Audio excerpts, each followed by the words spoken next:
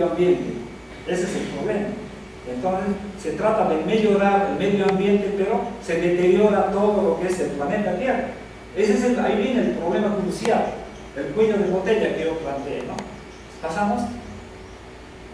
Entonces, desde nuestra costumbre sería cosmo agrocéntrica, cosmo agrocéntrica. ¿Cosmo por qué? Porque nuestros pensamientos de, de las